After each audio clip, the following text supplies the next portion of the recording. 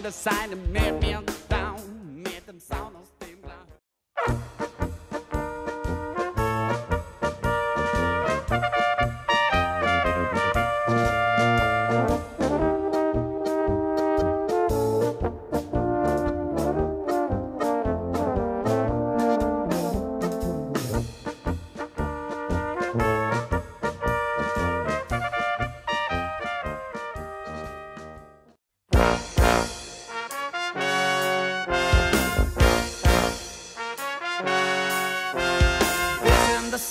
for the broken hearted.